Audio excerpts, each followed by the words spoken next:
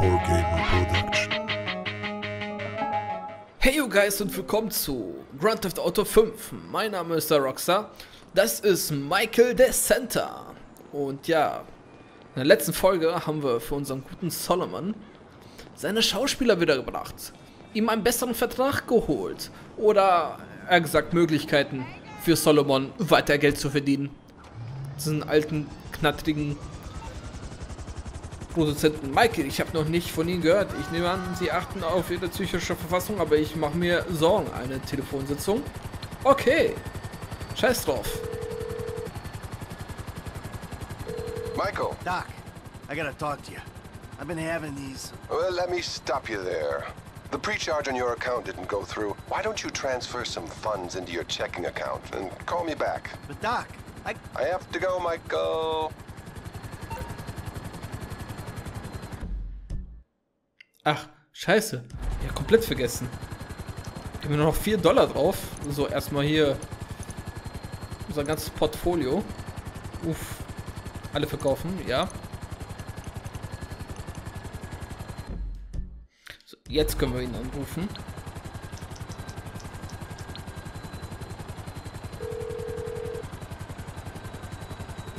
Hello, Dr. Isaiah Friedlander speaking. Hey, Doc, it's me. Michael, how are you? Not good, Doc. Not good at all. Well, we spent a lot of time over the years discussing how negative actions lead to negative thoughts as much as the reverse. Because of the compounding of your classical low self-esteem with your assorted sexual hang-ups, the desperate search for the easy answer in life, and your profound narcissism, reality will have a habit of handing you a repeated kicking. Anyway, what's up? Hell, Doc, when you put it like that, I'm afraid I ain't got much hope. Have you been acting out again, Michael? You know, a little up, a little down, Doc. What about the bad, Michael? Tell me. Okay, well, things are. I gotta tell you, Doc, they're awful. I'm making bad decisions here, and other people are picking up the tab for it. My family left me. They won't even take my phone calls, but. But I did meet this guy, Solomon Richards. You might have heard of him. Richards Majestic? And we're doing some work together. In the movies. Can you fucking believe that? I'm a movie producer. Well, I'm glad to hear things are looking up. But you shouldn't look for validation outside of yourself. Validation isn't a label. It comes from within. Any other violent outburst, Michael? I ain't been a good boy, Doc. I mean, you know, things just all of a sudden get up on top and right fucking on top. And then I lose my shit and I hurt people and then I feel bad about it. I, I'm a fucking prick. Remorse is good. But not as good as taking control before you act out. There's a part of me, Doc, I just can't seem to control. Hmm. What about your sexual problems, Michael? I'm doing well, Doc, in that regard. Nothing to report, not one single thing. That's great, Michael. It's real progress. See? Treatment works when you try. So, hey, you know, as you can see, I'm kind of doing better. You know, not perfect, mind you, but better. You know, therapy can really help you, Michael, which is why you should be really pleased with what you're doing. But I'm gonna have to stop you there. Oh, and there is one thing. Phone sessions are a little more expensive, obviously, Obviously. but so fulfilling. Let's speak again soon. Ja, läuft bei ihm, läuft bei ihm. Auf nach Mr. Madrazo oder zu Martin. Und schauen wir mal, was der gute alte Halunke von uns möchte. Also auf, auf. Haben wir denn kein... Ja doch, wir haben Musik. Alice Underground Radio, bitte. Danke.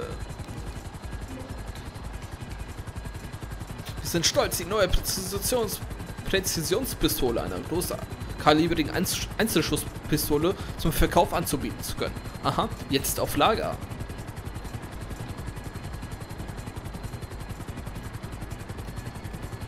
Naja, das, das, das Ding macht das auch nicht mehr so heftig lange mit. Denke ich mal.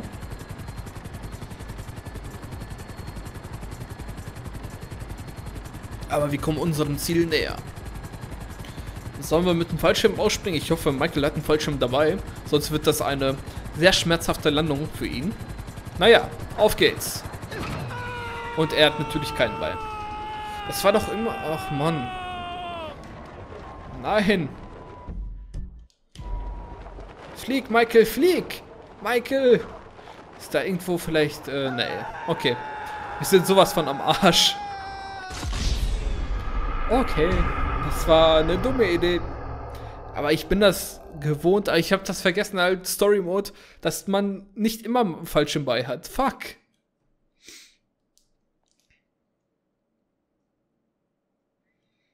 Naja, man lernt draus, man lernt draus. Oder auch vielleicht nie. Wie viel in meinem Fall. Ist einfach ein bisschen zu lange her. So, wir brauchen erstmal eine Karte. Gib mir die Karte. Nicht zupen, einfach aussteigen. Danke. Einfach aussteigen. Auf, auf und davon!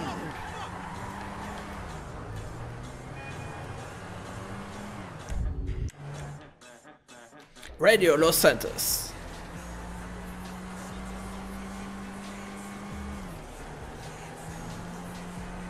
Das wird witzig mit Trevor. Das wird noch auf jeden Fall witzig mit Trevor.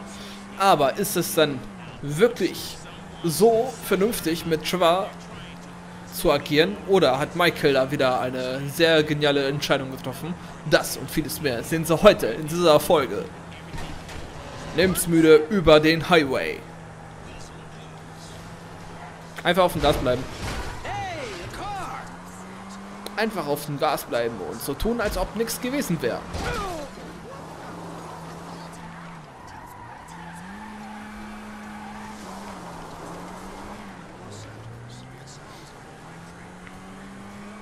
Und ja, in letzter Zeit haben sich ja auch so manche Leaks über GTA 6 ins Netz gefunden, aber davon halte ich erstmal noch nichts und dass wir uns noch freuen können, ich denke mir, das dauert noch. Ich denke, das dauert noch mindestens drei bis vier Jahre, dass überhaupt ein Teaser ankommt oder wenigstens zwei Jahre bis zum Teaser und dann nochmal zwei Jahre bis zum fertigen Spiel. Das kann ich euch jetzt schon verraten. Weil das sagt mein Bauchgefühl. Und mein Bauchgefühl täuscht, täuscht sich nie bei GTA-Titeln. Aber wie wir wissen, sind zwei bis vier Jahre nichts zu dieser heutigen Zeit. It's a thing. You said you wanted work. This is work. Uh-huh. And who's the guy? You'll see. Yes? Hi. Oh. We're looking for Mr. Madrazzo. Patricia, for fuck's sake, just let him in. Right this way, gentlemen. Patricia, get us something to drink, would you? Quickly! Hey, good to see you again, Michael. Likewise. It's my friend Trevor. uh, sit down. Sit, sit, sit. So, what did you tell him about me, about Martin Madrazo? Martine's an old friend of mine, Trevor. The He's- truth. Martine is a terrifying psychopath who tried to kill me. Exactly. But some people, they no longer fear me as much as they used to. People who wear clothes to me. My cousin, uh, you met him, Michael. well, apparently, he's thinking about testifying against me. So I have him killed. I'm going to. By you. Our debt was settled. This is a favor. For a friend. But does friendship mean nothing these days? Uh, hello? What's the deal? This is him. Javier.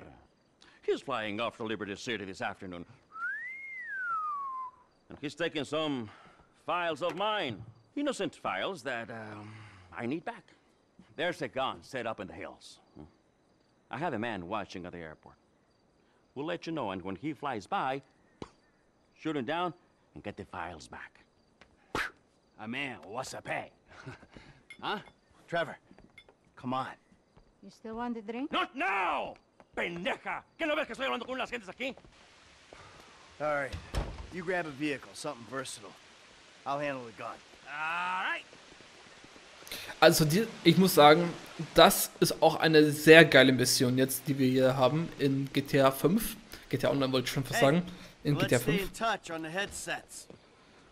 weil einfach die Dynamik, die Action und einfach das Kranke, was hier jetzt passiert, ist schon ziemlich geil. Vor allem den Travers Parts. Macht einen schon Bock auf mehr. Und ja, ich habe ich hab ja auch damals wie heute, höre ich immer noch hier und da mal Meinung zum Online-Modus, dass zum Beispiel GTA 5 ja so krass geworben hätte mit den ähm, Raubzügen und dass es nur Raubzüge geben sollte und so ein Scheiß. Im Endeffekt hast du ja eigentlich 24-7 Raubzüge. Aber auch eine sehr gute Gangster-Geschichte, wie ich finde. Weil nichts anderes ist das ja. Halt sehr überspitzt, muss man dazu sagen, ne? Aber es ist halt so. Yeah, okay. Well, I ain't at the observatory yet. Start heading that way.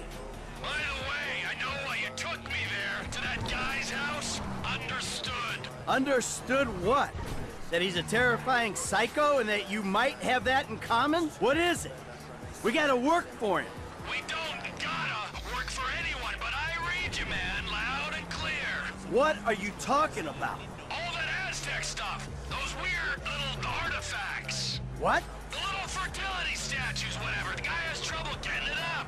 We'll clear two, three million on those, easy. Perverts will pay anything for hope. We weren't casing the joint. We didn't agree to a fee for this job, so what's it all about? Okay, the guy lives well. That don't mean we're robbing him, but it does mean he's got money to pay people who help him. When the time comes, he'll do the right thing. If he don't, please, let me handle it.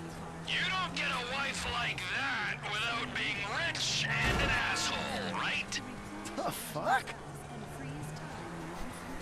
Genau, Troy, genau, Troy. Und ich finde ja auch, jeder GTA-Teil widerspiegelt auch ein bisschen so die Zeit, in der wir heute, heute äh, leben. Halt ist halt Satire auf sehr hohem, hohem Niveau, sag ich mal so. Teilweise sehr stumpf und überspitzt, aber das macht es ja auch aus, dieser Mischung, ne? Aus stumpfer Gewalt und einfach auch übertriebener sarkastischen Sachen und Satire. Und das passt ja auch so herrlich in, in dieses GTA-Universum, wie ich finde.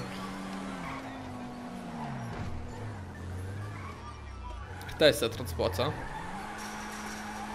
Alright, I see the van with the gun in it. You nearby? Not far out. Shoot the plane down and I'll be ready. So, die Waffe lädt. Die Waffe lädt. Und Special Hey. Agent. If you could see this gun, it might convince you Martin Madrazo ain't someone to be messing with.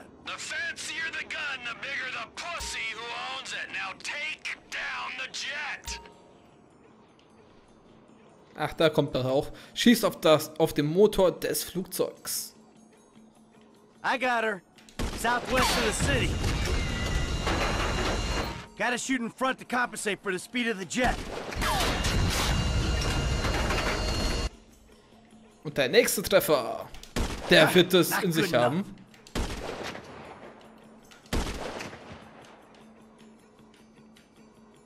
Okay, es wird ein bisschen tricky. Oh, oh fuck. go down next time. Ah, komm schon, komm schon, komm schon, komm schon. Das ist jetzt ein bisschen tricky hier. Haha! Engine's gone. Plane's coming down. You on it?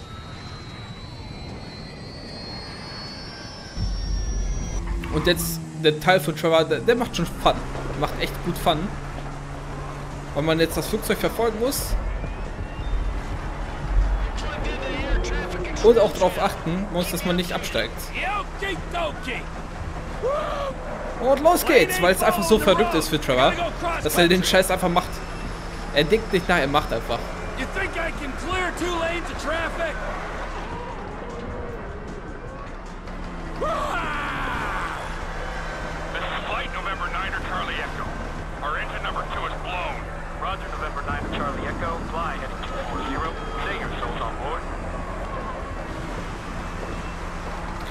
Geht's, Trevor, los geht's!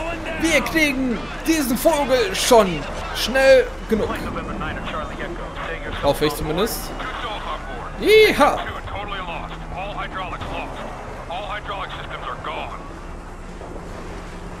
Roger, November 9er Charlie Echo. Where are you putting it down? We're not gonna make the runway. Gonna have to ditch the son of a bitch and hope for the best. Naja, hier in der Nähe wäre eigentlich der, auch der Sandy Joes Flugplatz, aber egal. I'm on him! He's past the airfield! Landing ain't gonna be pretty!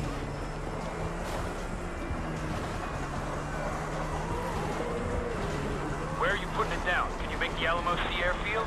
Can't pull it round. Gonna have to put it down in a field somewhere.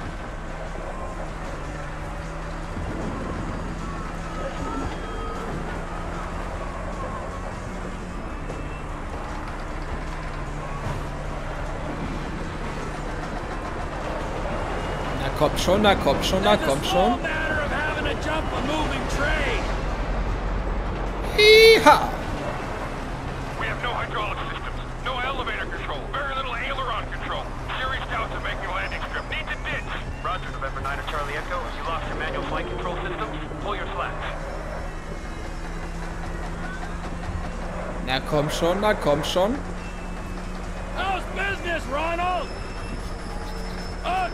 Guy's going down any minute. Good. Let's hope don't take out some poor farmer while he's at it. Only thing they farm out here is methamphetamine. Ah, Trevor Phillips country. God, I miss it out here. You gotta come visit sometime. Trevor Phillips Industries.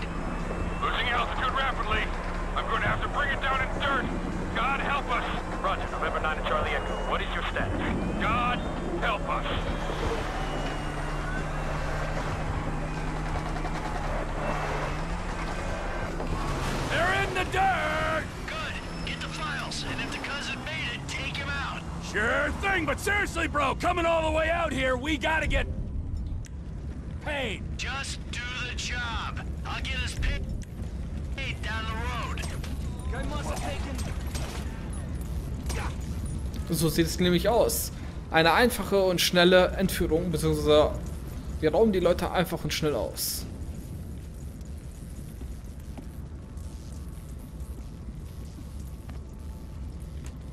Hello Sir, darf ich mal kurz Sir? Dankeschön Sir. Und weiter geht's. T, how'd it go? fine, just fine. I got the files. I'll take them to Madrezzo and explain the human cost of this errand. Oh, take it easy, man. Listen to me. We'll talk about that later. I want you to just drop off the files. I gotta get rid of this rifle, then we'll talk. Genau, erstmal überall die DNA verstreuen.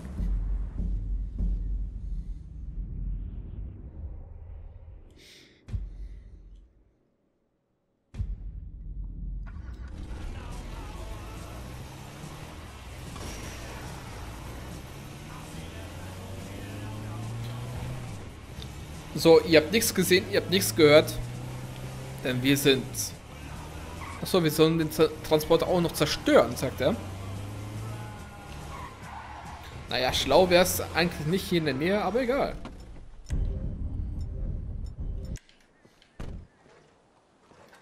Nein, wir brauchen... Wir brauchen nur eine Granate.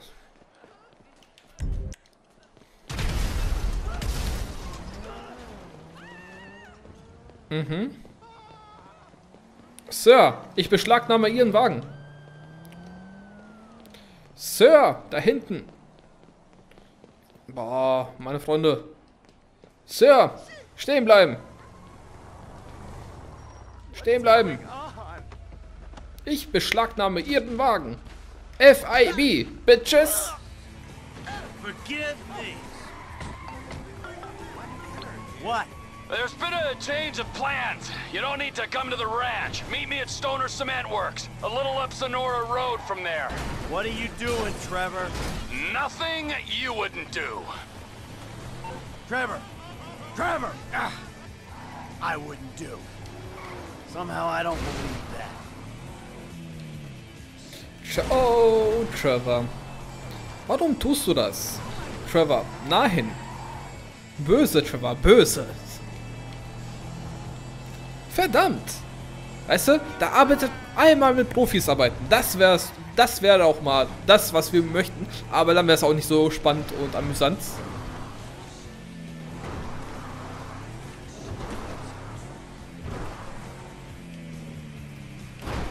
Würde ich mal einfach mal dezent behaupten. Und natürlich weiß ich ja schon, was jetzt laufen wird. Und ich denke mal auch der größte Teil der Zuschauer auch. Nur für die Leute, die es noch gar nicht kennen. Die nur GTA Online gezockt haben. Naja, das wird eine Überraschung. Ich kann mal so viel verraten, es wird nichts Gutes sein.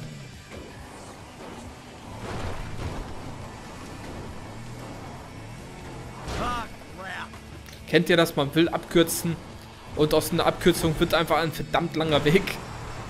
Aber man bleibt auf dem Weg, weil man sich denkt, nein, jetzt habe ich diesen Weg eingeschlagen, jetzt ziehe ich den auch durch.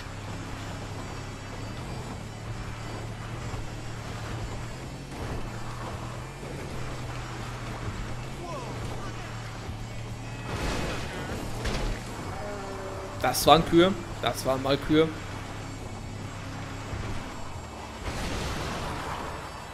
Trevor, ich bin da. Where is he?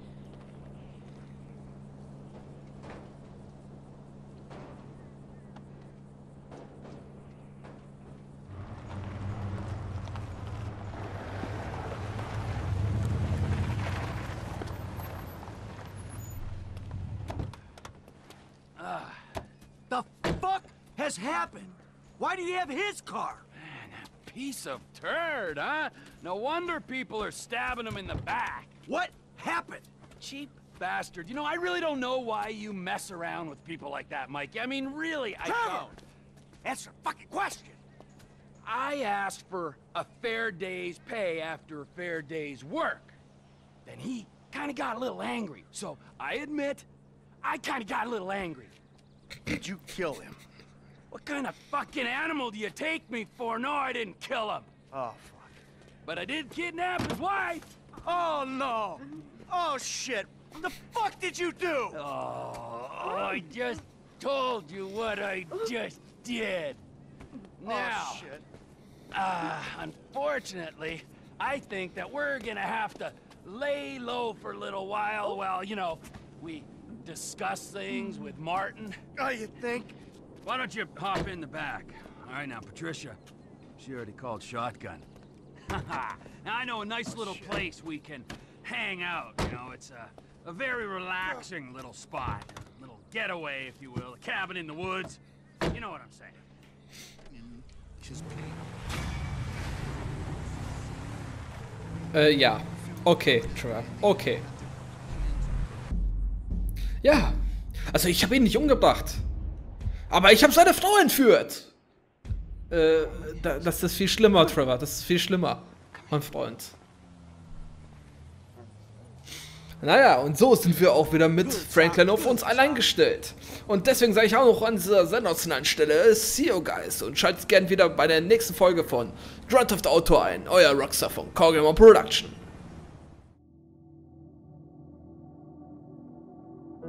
Hey you guys, hat's euch gefallen? Gut, nun gibt's ein paar Regeln, denen ihr folgen müsst. Regel 1, das Video wird nicht geteilt. Regel 2, das Video wird nicht geteilt. Regel 3, lass ein Däumchen da.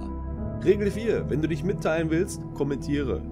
Regel 5, wer neu ist auf dem Kanal, sollte abonnieren. Denn wir sind das, was nötig ist. Wir sind das, was du brauchst. Wir sind Core Gamer Production.